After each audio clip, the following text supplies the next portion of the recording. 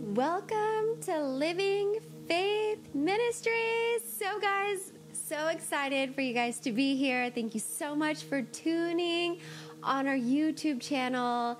Come on, I always say this the best is yet to come. Why is that? Because we serve such an amazing God. And so today I want to talk about where is, where are you, God? Where are you? That's what I want to talk about. Because I know there's many times we go through life and we're sitting there and we're like, Where are you, God? Let's pray. Father God, I thank you so much. Thank you, Lord. Thank you, God. Thank you, Lord that you're always there for us, even when we don't feel you. I pray today's message that you will anoint me. I pray that many lives will be radically changed. I pray, Lord, that hope will, will be restored. I pray, God, that when people are out there and they feel like giving up, that you will give me the right words to, to be able to activate hope back into their life. I pray, Lord, that this sermon will change the minds and that there'll be a confidence knowing that you are there for us. May the words that come out of my mouth not be of me, but of you. I thank you, Lord, in Jesus' name. Amen. Amen. Amen. Have you ever felt like God was so distant in your life? Maybe you felt like you did something that God could never forgive you. Maybe you feel God doesn't love you. Maybe you feel like God left you. Have you ever felt that before? Because I know I have. But I want to remind you and to tell you that God has never left you nor forsake you. You know what? You might be going through a through some situations that you feel like God has left you, when the truth is, is that we actually push away God, but He has always been there right by our side saying, I'm, I'm never going to leave you. I'm here for you. His arms are wide open, saying, just call on me and I'll be there for you. He's so loving. He's so graceful. I want to remind you that we serve a God who wants the best for us.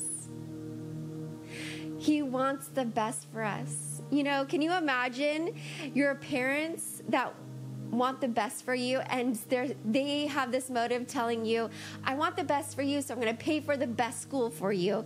And you might be wondering, sitting there, why? I wonder why they would say that. And, you know, if you're from an Asian family, they always want the best education. That's like just a straight up Asian thing. And um, if you can imagine saying, them saying, you know what, I want to take you to the best school out there to get you the highest education so that when you get your education and I'm ready to retire, you're going to sit back and take care of me. I'm going to be the one who's prospering. I'm just investing right now. or maybe your parents are saying, "You know what? I want to take you to to the best education because I don't want to raise any no I don't want to raise any stupid kids." But the truth of the, and the matter is, none of those are really true. Most of the time, your parents want to see you exceed because they love you. They just want the best for you. No motive behind that. And you know, that's how God is. God just wants to see the best for your life. There's no motive. He just does it because He loves you so, so much. You know, sometimes we go through things and we just don't understand. We can't understand why are we going through those things. But you know what? Many times God has everything ordained. He already has everything set in motion and nothing is a surprise for him. No matter what the situation is, God is just waiting for you. When we feel weak, God is there to strengthen us. to remove the guilt, the shame, the wrongdoing, the re- and replace it with healing, restoration, and peace. Come on, because I know this is a season, especially during the holiday seasons as we enter into, that a lot of thoughts creep up. A lot of thoughts, negative thoughts. This is the season where the highest su- suicide rate comes about. But I want to remind you, God has never left you nor forsaken you. And as we come into this season that we're entering into, I get all this stuff happens family members are, are away, deaths have passed, you know, people have been out of our lives, people have um, aren't in our lives anymore. Uh, there's a lot going on, and the holiday season tends to bring a, a reminder of those precious moments. And so, as we're walking and as we're getting into this season, I want to remind us that God has never left you nor forsaken you. That even when people come out of your life, that doesn't change God. Even when you yourself have done some really crazy, horrible things that you even feel like God could never forgive you, He is there for you. That's the lie of the enemy trying to push you away from God, saying that God God can never forgive you because he he has always forgiven you. He just wants you. And you, know, in life, we cannot do it in our, our own strength. And it is God's desire to renew our strength. For Isaiah 40 31 says, But those who hope in the Lord will renew their strength. But those who hope in the Lord will renew their strength. They will soar on wings like eagles. They will run and not grow weary. They will walk and not be faint. This is God is saying, his hope your hope is in in the lord. He once you put your your faith once you once once you just say god you know what? I know you're there. I know you got my back. Come on. God is just going to move on behalf of you. He's going to move on behalf of your situation. He's going to move on behalf of what's inside of you what has pushed you down all that depression all that anxiety. He's going to renew your your strength. He's going to renew what's inside of you the healing that needs to take place the restoration that needs to pl- take place he is the God of hope that can do all things, but we cannot do those things on our own. The moment we put our hope in Jesus is the moment He can renew our strength. And when He renews our strength, we will soar like eagles. We will run and not grow weary. Come on. I think that's so powerful and we will walk and not be faint. That's what it looks like to put our strength in the Lord. But when we don't put our strength in the Lord, let me tell you, that's what we look like. The things that we need, that we feel weak, that we feel like we can barely move, that we all we're doing is just slumbering and we feel weary and we and we just barely move and we just feel very faint. That's what it looks like when we don't put our hope in the Lord. But immediately things shift the moment when we put our hope in the Lord. Everything shifts. Everything. And that's so powerful. So when we place our hope in the Lord, he will renew our strength. No matter how deep of a mess we're in, no matter how much you feel like you, you're giving up, you feel hopeless, and you feel like you can't move, you feel weak, you feel like there's, there's nothing ahead for you. But if we focus on God, if we focus on Jesus, He will give us the power to overcome. No matter what you're going through, He can renew your strength. He can restore your hope. Because nothing is impossible for Him. Nothing. No matter what the situation is, God can turn it around. No matter what it is. See, we see the story of Joseph he had 12 brothers, and only one one was from the same mother, which was Benjamin.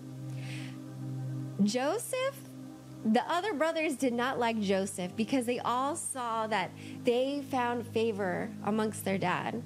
They're like, Joseph, dad loves Joseph more than us. They did not like it, not at all. And the reason why it just stemmed off, not only did he get treated differently, but ooh, when he got the coat, the long coat with many colors, you know what that resembled? That resembled anyone who was wearing a coat with many colors that was long sleeved, resembled they did not have to work. I would be mad too. Are you kidding me? My brother, my sister over there, all he's doing is just chilling with that nice fancy coat. You know I want that Gucci, but here I am. I'm a, I'm laboring in my Walmart clothes. Oh hell no. this is not right. I want that Gucci. I want that Louis Vuitton. I, I want that Prada. Uh-uh. This is not right. You know, I I might I think I might be a little bit mad. And so here are the brothers. They're mad. They're mad. This is not fair. How can our dad treat us differently than him? And jealousy begins to stir up inside of them. Just pure jealousy.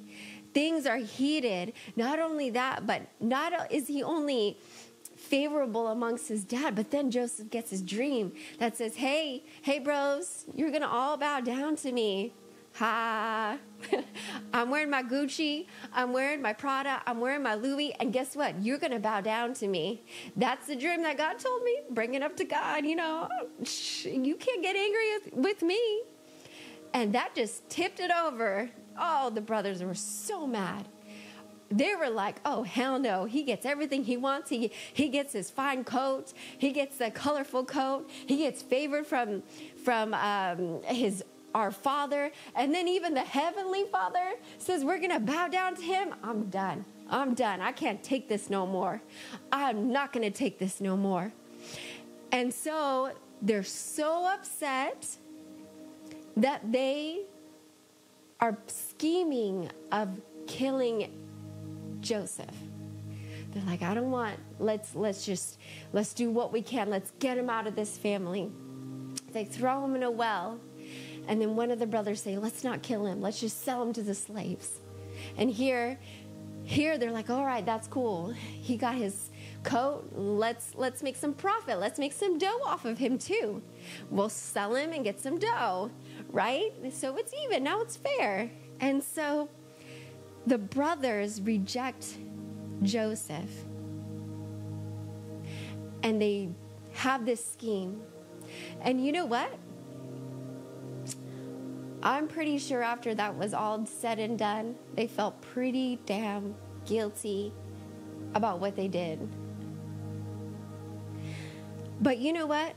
The rejection of Joseph was actually all in the plan of God.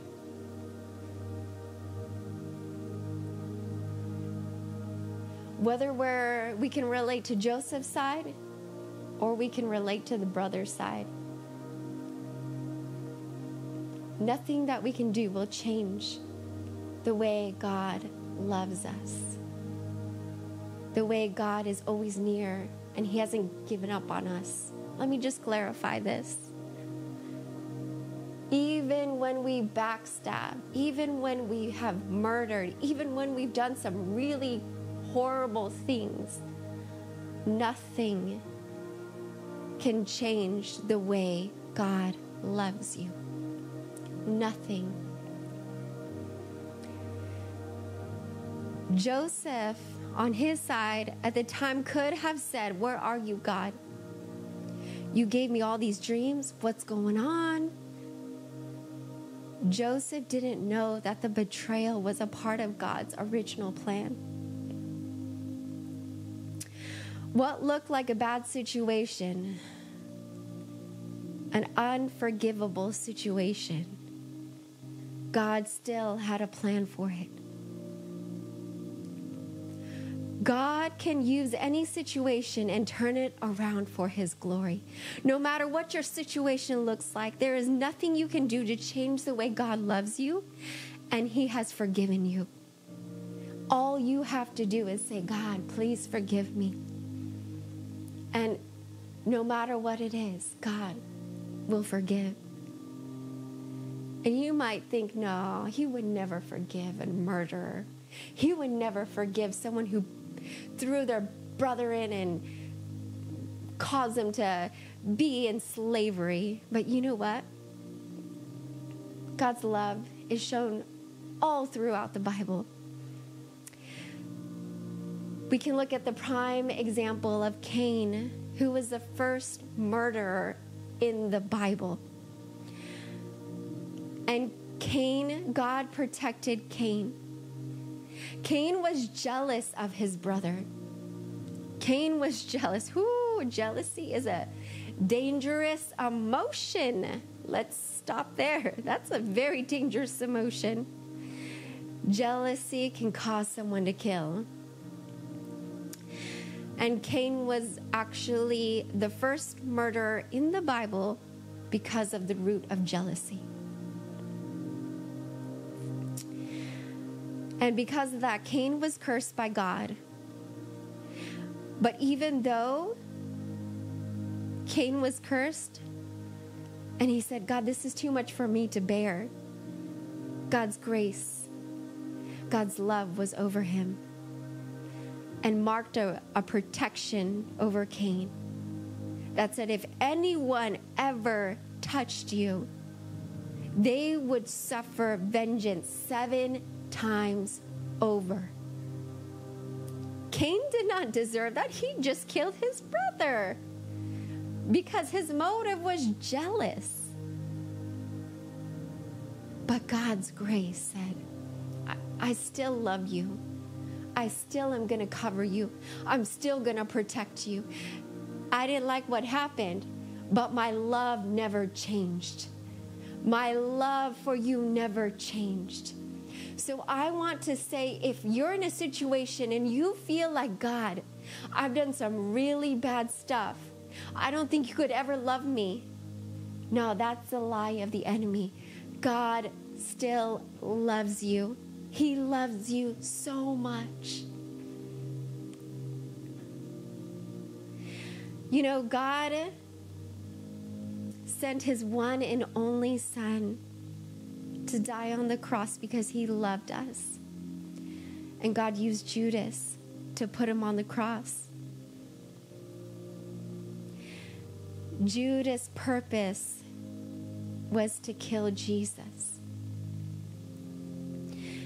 And I believe Jesus, and even though he killed Jesus, I still believed Judas went to heaven because he repented.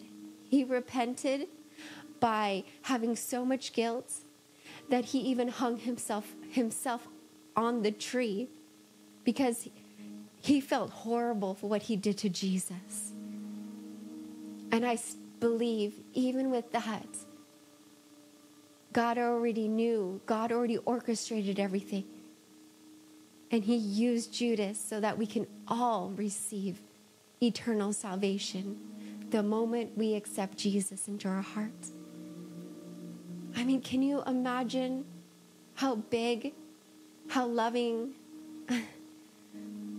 our God is? That even when someone murdered their own son, would say, I still forgive you. Wow. That's some deep love. That's some deep love. See, there is nothing that can turn you away from God. He loves you so much. He already knew you wouldn't be able to do things on your own. That's why He gave us salvation and made it easy for us to receive salvation by just saying, Jesus, I accept you into my own, I accept you into my heart. Just that simple. You know, sometimes we don't see it. Joseph was in the house of Pharaoh. Sometimes we don't see if God was there. But we see Joseph was in the house of Pharaoh and he saw his brothers. When he saw his brothers and the brothers saw him, the brothers did not recognize him at first. Sometimes we can't recognize when God is around us, even though He's there and He's never left us. It was until the second time they saw Joseph, and Joseph invited them for dinner and told them to bring their youngest brother Benjamin. And when Joseph revealed who he was to his brothers, that is when the brothers were able to recognize who he was. It's kind of like the second coming when Jesus will be recognized amongst the Jews. God is always there, even when we don't feel like He is. We're just not recognizing it. God is not done trying to reveal who He is. He is always there trying to show you He is here for you, taking care of you. But sometimes we're missing it. We focus too much on our problems, on our situations, on our circumstances. And we feel so distant, even though God is right there. Again, He has never left you nor forsaken you. You know, the brothers were afraid when they realized it was Joseph for what, because they knew what they did to him. And they were probably thinking, oh, Joseph is in high power now. He's going to chop our heads off. He has the authority to do it and has every right to do it. he has every right. But you know what? Joseph had already forgiven them. And he responded, This is where God wanted him to save the land and the, and the people from starvation. He explained the purpose. The purpose was for, for him to be used by God to preserve the life of everyone because the famine was coming. So he didn't focus on the acts of his brother, but he focused. He focused on the purpose. How God changed that situation around and used it for his glory.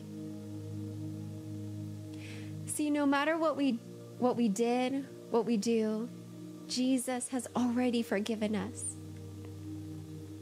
He already gave, he already knew we were going to mess up. Let's just clarify that. He already knew that.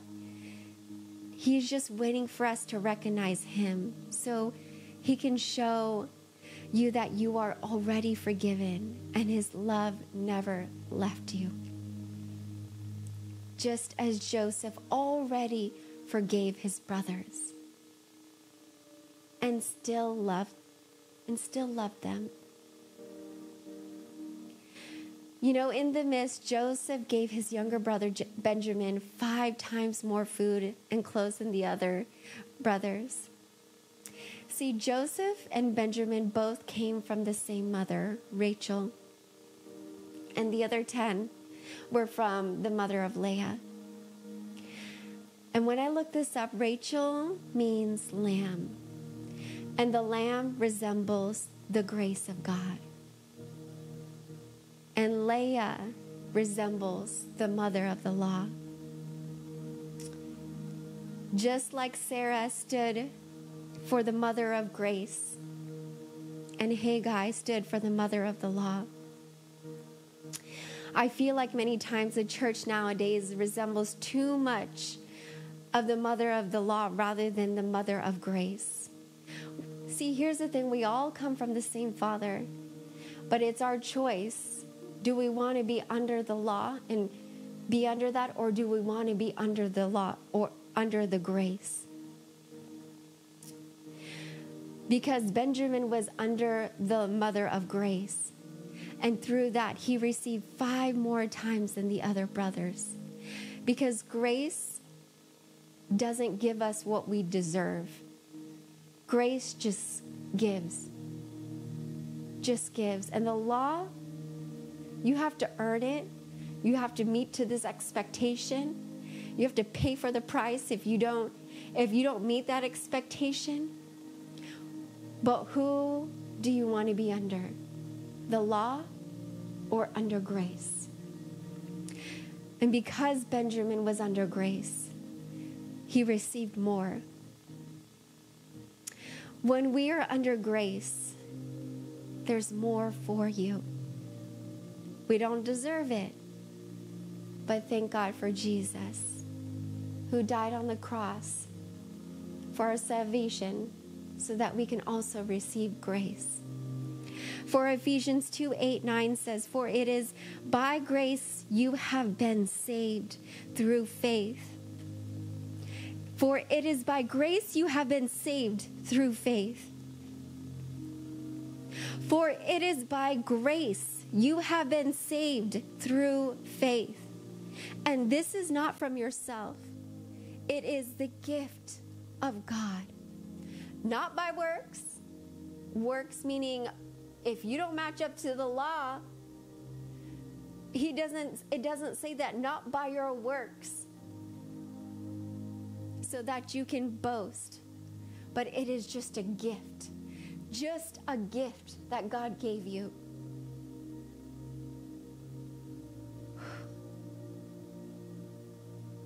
and you receive that by faith just as simple when we accept Jesus, we are covered in His grace. When we're covered in His grace, more is for us. We don't deserve it, but God doesn't care. He just cares for you. It's just like the prodigal son. The son took his inheritance and said, Woo, it's time to party. And he went out, he went to the clubs, he went to he went to to the women, he he went to to whatever the the drugs, he went out whatever he wanted. He just wanted to enjoy life and he didn't care cuz he got all this money. He was like whoo ecstatic and he enjoyed it. And then he was like, "Shoot, I wasn't wise with my money. I didn't invest. I just went out to party." didn't have any money, was starving, eating with the pigs, got this idea what if I become a servant to my dad? At least my dad served, you know, food to the servants. That's better than eating with the pigs. So he thinks this is a great idea. So he's coming home. And from a far distance, his, his father looks and says, What? Is that my son? Oh my God, that's my son. Come on, everyone, let's throw a party. He's coming home. Let's let's get the fattest pig out there. Let's get the best of the best food, uh, the caviar, the steak. Let's let's get the all of that. Let's prepare it because my son is coming home. And when he comes and sees his father, all the father does is just embrace him he just embraces him. He doesn't sit there and say, What did you do with all the money? Did you spend it on hookers and drugs and alcohol? He he could have said that. He could have scolded his son, you know, it's like that's all the money you got. You spent all your inheritance. You asked for it too early and you were stupid. but here's the thing he didn't say that. He was just so happy his son was home. That's all he cared about. He didn't care about his past. He was just so happy to see him back that he just embraced him and threw a party. And you know what? That's how Jesus is with us. That is how he is with us. He understands we're going to mess up. He understands we're going to have faults, but He embraces us when we say, I'm coming home. I just, I can't do this. I can't do this without you. And He just cares for us. We just see that Jesus cares for us. Not what He, not what we have done, but He just cares for us. Can I say God is not concerned about how messed up we are? Because He will give us beauty for our ashes. For in Isaiah 61 3, it says, To counsel those who mourn in Zion to give them beauty for ashes, the oil of joy for mourning, the garment of praise for the spirit of heaviness, that they may be called trees of righteousness, the planting of the Lord, that he may be glorified. He turns our beauty for ashes and the oil of joy for mourning the garment of praise for the spirit of heaviness, so that we may be called trees of righteousness. We can't take on the burdens of life. Jesus knew that and knew we would mess up. Jesus wanted to get to take that burden. For in Proverbs 17:22 it says, "A merry heart does good, like medicine, but a broken spirit dries the bones." The medicine Jesus gave us is his joy. He turns our sadness into joy. The joy of the Lord will renew our strength. See, when we focus on Jesus, God will deliver us. All He cares about is that we focus on Him. Genesis 45, 8 through 11, it says, So now it was not you who sent me here, but God. And he has made me a father to Pharaoh and the Lord of all his house, and a ruler throughout all the land of Egypt. Hurry and go up to my father and say to him, Thus says your son Joseph. God has made me Lord of all Egypt. Come down to me, do not tarry. You shall dwell in the land of Goshen. You shall be near to me, you and your children, your children's children, your flocks, your herds, and all that you have there I will provide for you, lest you and your household and all that you have come and all that you have come to poverty, for there are still five years of famine. You know, this is where Joseph tells his brothers, Go and tell your father, come, bring the whole family, bring the whole crew to Goshen. Goshen. And I looked online and it said, Goshen it says first and here, it says to come near him. And Goshen was a land of comfort and plenty. This was a city that they were going to be taken care of. Come near, come near closer to me. And here's the thing when we come near Christ, we reap the comforts and plenty. The place near Christ gives us five more times. When we come to Christ, we enter into His grace. We don't deserve it, but nothing will change how He thinks about us. Nothing. Nothing. How He loves us and how He wants to be so close. Nothing will change. It is near Him that we reap the blessing. Just know He loves you so much that He took that cross to deliver you from pain so you can walk in victory, so you can walk in peace, so you can walk in restoration, so you can walk in strength, so that you can walk in healing. He did it because He loves you.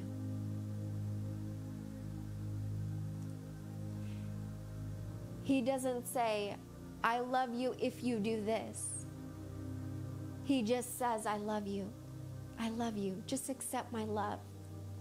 Come close to me. Let me take care of you. His love. is so profound. It blows my mind all the time that He's so loving and so forgiving. Understand if you're living in guilt, if you're living in shame, if you're living in a in a situation that you feel like is impossible, that God can never forgive you, I want to remind you today He can. And He does. And He loves you. And that never changed. That never changed. So, Where Are You, God? is the title of the sermon. And where He is, is He's always been there for you. Sometimes we walk away, but He's never left. If you're in a place right now and you say, I'm ready, I can't handle, I cannot handle the pain that I'm going through, the guilt, the shame, the circumstance, I can't handle it. Maybe you're in a place where you walked away, or you're in a place that you never even received Christ into your heart. And you're like, I can't do this anymore on my own strength. I've been trying. I've been trying with the meds. I've been trying with with the with the drugs, with the alcohol, with everything I can on my own strength and each one has failed me. This might be the time to try something new. The one that can heal you. The one that can deliver you. The one that can restore you. This is the perfect time to say, you know what? I'm ready I'm ready to accept Jesus into my heart. If that is you, repeat this prayer after me. Father God, thank you for dying on the cross for my sin. Thank you for your unconditional love. Thank you for your grace. Thank you for your forgiveness. I accept you into my heart and I declare heaven is my home and God is my Father in Jesus' name. Thank you so much, you guys. I hope this word was a blessing. Know that Jesus never gave up on you. Take care and God bless.